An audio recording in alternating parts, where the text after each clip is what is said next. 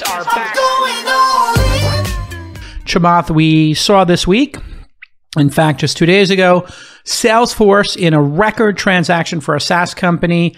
I think it's the highest ever paid for a SaaS company, $27 billion, $27.7 billion for Slack, which has only been public for just over a year, I think. You were, I think, did the Series B in Slack right after they did the pivot at Social Capital. I don't know if that was in The- Fund One or Two, but Phil Hellmuth keeps talking series, about it. It was the Series B in Tiny Speck, but it was the Series A in Slack. And um, there's a really important story, which is that um, myself and Ray Coe, um, who's my partner at Social Capital, we've worked together now for, my gosh, I think it's probably 15 years, um, wrote a really great memo justifying the investment in Slack. And it had to do with one thing and one thing only. We ignored the revenue and ARR. I mean, it was fine and nice and good.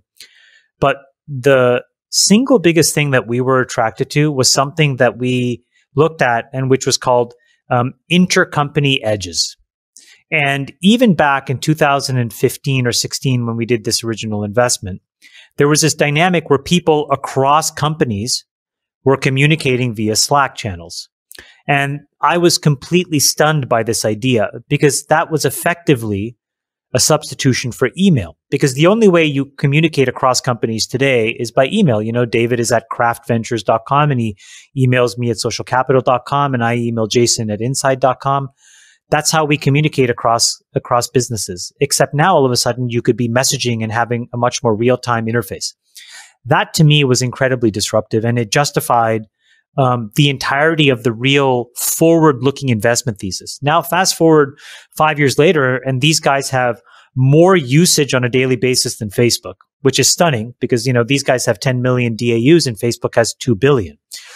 So it just goes to show you the quantity of traffic and and the the volume of information and theoretically, you know, productivity that's happening on Slack. And so I'm not sure what Salesforce bought. I actually think that you know you can make a case why um, it's a shame that it got bought, um, a very strong one, in fact. But what they did get, whether they know it or not, is an intercompany edge effect, which is the most disruptive thing to email. And in the hands of Salesforce and that sales team, I think it has the ability to really be a very disruptive um, force for good in enterprise software.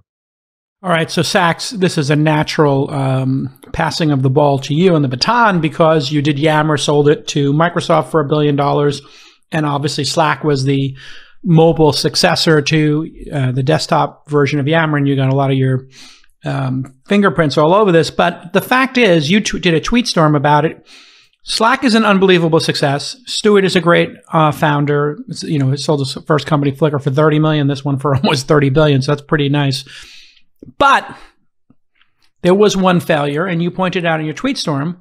Explain what the one failure, if you could pick out of the hundreds of things, thousands of things they did right, there was one thing they did wrong that, uh, to Chamath's point, would have resulted in them remaining an independent company that could have become worth more than 27 billion. Yeah, it was it was a slowness to embrace the idea of enterprise sales. Um, and and by the way, let's put this in context. I mean, Stewart and the Slack team did a phenomenal job. Thirty billion dollar exit, um, seven years of just about flawless execution.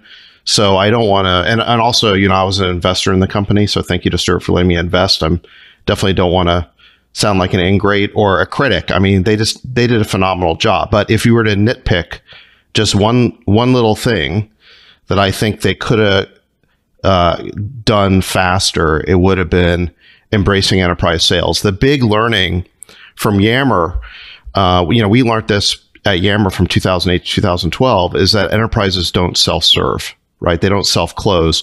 Bottom up SaaS products are phenomenal for generating top of funnel, basically generating leads, but you have to have salespeople close the deals. And enterprises don't just kind of pull out a credit card and, and self-serve you. They need a salesperson. And i think there was um, something in the DF, dna of slack that actually i see really very commonly uh, in the DNA of of sort of producty SaaS companies, producty SaaS founders, which is they kind of have a reflexive dislike or distaste for sales, and they resist the idea of sales and they want to believe that they can just be entirely product driven. And um, and what what I see and across the board is they all come to the same realization that that we had at Yammer, which is we have to have a sales team. And I do remember, you know, back in 2014, the whole Yammer sales team was basically rolling off um, because of you know Microsoft acquired the company in 2012 and there was an integration period, and by 2013 2014 they were all looking for jobs. And I remember you know my my former uh, CRO I think was interviewing at Slack and it would have been such a perfect thing for them because he had just learned all the lessons of how you layer on kind of an enterprise sale on top of a of a bottom up product, and they just weren't ready to to make that hire yet. Um, and so, look, if you're going to nitpick, look, thirty billion dollar outcome, no one's criticizing. But if you were to nitpick, you know, um, it's it's an A plus regardless. But you know, this would be the one thing you could you could say. Well, congratulations all around to everybody involved, especially Phil Hellmuth, who was an LP in one of Chamath's funds. So if you need insights on Slack uh, or any of the inside information, you can just follow Phil Hellmuth on Twitter at being the greatest or I am the greatest or I'll always be the greatest. One of those Twitter handles is his. But, but, but Jason, I mean, you, you basically came to the same conclusion in your emergency pod, right? I mean, I did. I hadn't seen your. I think your tweet came after the emergency pod, mm-hmm. but uh, yeah, it, it, just seemed to me this company, unlike Zoom, uh, should have been able to grow quicker. And if you look at their numbers, they had 87 companies that had were spending over a million dollars. You put a rabid sales team on that product, and they go in like Benioff does with his sales team. I mean, he was just hyper aggressive at just putting huge numbers out there and saying you have to pay us this much money. So much so that I don't know if you remember Elon getting into a public spat with him where he's like, Salesforce is horrible software, get it out of the organization. And he basically banned it because they came to him with the bottom up people using of Salesforce and said, Hey, you owe us this amount of money. And Elon was like, F you, banned forever from inside of our organization. We'll build our own software. We don't need it. Uh, and, and they didn't have somebody, and Stewart didn't have that DNA, I think, to say aggressively, we need to charge what this product is worth. And you saw that in, I think, one of their strengths and weaknesses, which was they only build you for people who were actively using the product. Now, that's a beautiful, awesome feature. It makes you not scared to use it. But on the enterprise level, I mean, that seemed to be like maybe one of those non cutthroat things that maybe were holding them back. David, do you have any insights on this, or should we go on to AlphaFold? It's um, it's uh, it's really important to remember the the mechanics and the game theory around M&A, especially, you know, big game hunting when you're doing $30 billion acquisitions. Um, it's also kind of true at billion dollar levels, but less so.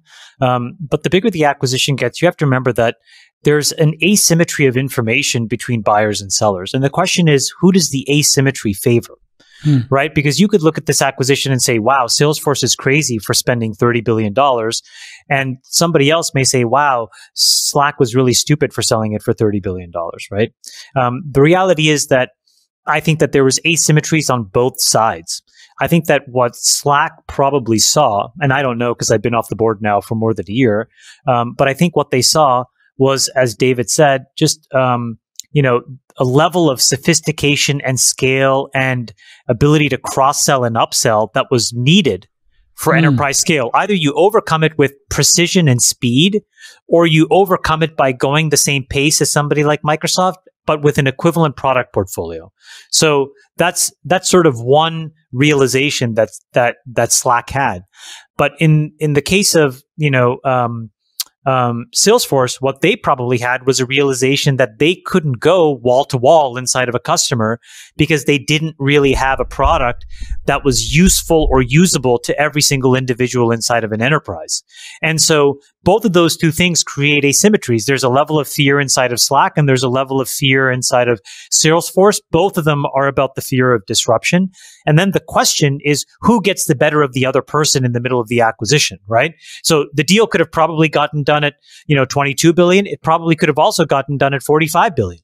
Um, and that's again to a combination of, um, how well you play poker in that moment, right? Who blinks first and the quality of the bankers. This is like two people having top pair on a very textured board. It's like, Yeah, it's, uh, and they're just raising who versus each outplays them. other. Yeah, it's who outplays them. Because like it's similar also to like how Microsoft bought LinkedIn, right? Because if you think about what happened in LinkedIn, if you remember when that happened, it was almost to a T, very much like Slack. LinkedIn had a one bad quarter. They got decapitated by I, you know, and I owned it at the time in the in our public fund. It got decapitated by like 50, 60, 70%. I mean, something insane for missing numbers by like a few pennies. Okay. And all of a sudden, it took a lot of the wind out of their sails internally. It didn't change the user momentum at all because, you know, the users that were signing up for LinkedIn didn't care what the stock price was yesterday, today, and tomorrow. Um, but it all of a sudden created a fear. And I think Microsoft was able to exploit that fear. And within a year, this company was bought for $25 billion. Not dissimilar, you know, Slack had, uh, you know, a hiccup and uh, they got re-rated. The stock bounced back. Um, but I think that um, if Salesforce was smart, they probably created, you know, sort of like a white knight kind of bid that said, "Listen, you need enterprise scale and the ability to cross sell and upsell. I can give it to you." And Slack probably said, "Listen, you need to go wall to wall, so I understand why you need me." And you know, the price is what the price is. Good, Friedberg. if you look at the pricing, right? So Slack, nor- normally the way these big M and A, you know, public company M and A deals get done is the board has to approve the price, and they have to say this was the right deal for us relative to other options. And one of the ways you ass- you assess that is you look at where the share price has been historically, and if you're getting a premium to where the share price has been historically, let's say 30, 40% higher than it's ever been, then the board says, great, that's a good deal. We should take it because we've got a long way to grow into that value. Um, in this case, the deal was done not at a very high premium to where Slack traded just in the summer. Uh, is that right, Chamath? So it looked like it peaked. It's basically if you look at the It's a 10% premium, right? Yeah. 10% premium, yeah. 10% We- we- premium. Yeah. We we opened the direct listing at 40 or 41 and then Right. this was at 45. Right. And so there, there clearly was a, a sense of weakness from the board, which is, um, I think, why the Salesforce stock traded down afterwards. Because if they were willing to sell at that small of a premium, the forecast internally is probably feeling not that strong. And then people translate that into, hey, Salesforce bought something that's not that strong. Um, you know, there's there's something a little bit amiss. But but obviously, to your point, they're missing a lot of the cross selling and the synergy that that that, that will. I think it's a huge slam dunk acquisition and I go back to the this uh, idea of intercompany um, network effects. Um, I think they exist and I think they're real. And I think that the Slack the the Slack um, product team's ability to innovate around that um, was not as fast as it could have been, but it was still very unique. And I think it was um, it was a true moat. And you know the the tragedy is we won't see what the terminal value is if they were um, left alone to execute. And in this weird way, like I've always struggled with why Microsoft was so overly obsessed with Slack because if you looked at the Teams product, it was much more directly competitive with Zoom, and to this day still remains much more directly competitive with Zoom than Slack. But you know, there we have it. And if you look at the revenue, um, Slack was doing 800 million run rate. So anyway, rounded up to a billion, and yet Salesforce at 20 billion. Uh, so five percent revenue to revenue, and then they got 10 percent of the company. So in, that way, if you look at it on a percentage basis, which is uh, you know how you might look at the Facebook, Instagram, and and WhatsApp, is what percentage of the existing entity did they get? Right, Yeah, the they're size like- growing, size growing about sixty percent a year, and Salesforce is yeah. growing about twenty two percent, something like that. The other thing Uh, is the president of Salesforce is uh, Bret Taylor, who uh, was our CTO at Facebook, who I worked with, and so I think Brett also understands network effects really well. Um, and you know, by the way, in, in this interesting twist of fate, Benioff was the underbidder, I think, for LinkedIn, and so Yes. um, you know we've uh, we've seen Mark around the hoop on these you know social network, network effect, business tool um, acquisitions before, and finally he also his- Twitter. He was running. Right. He was Also hanging around the basket with Twitter, Right. and then they Yeah. also brought his name up for TikTok, which made no sense. So I think Benioff is just looking at this like. If if Google and Microsoft and Apple are too scared to buy things because of antitrust, well, I'm under the radar of the antitrust trillion dollars, so I'm, I'm the only well, game he's in town, he- right? he's under he's under the radar because he doesn't have a play in this sort of communication or collaboration space, and so therefore there are no antitrust issues. Um, if Microsoft were to do it, it would definitely be scrutinized because you could argue that they're adding to their existing dominant market share and and collaboration. Um, but Benioff's dream has always been, at least since he uh, you know launched Chatter to compete with with us when we were doing Yammer. This is back in 2010, 2011, is he, his dream has always been to have a product that could get him onto every seat in the enterprise. You know, his current product set has is departmental. I mean, you've got hmm. kind of the CRM product for sales, and they've got the support cloud for customer support, and they've got the marketing cloud for marketing. And so he's gone department by department, but he's never really had a sort of pan like sort of cross company, yeah. something that the entire company would use. Like a And that's central what he tr- login system, right? And Slack mm-hmm. is that central login system.